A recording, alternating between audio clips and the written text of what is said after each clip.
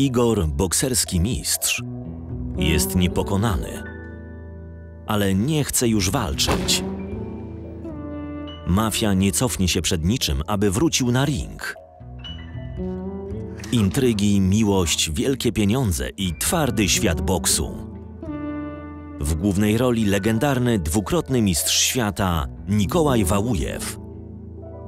Kamienny łeb na kanale Wojna i Pokój.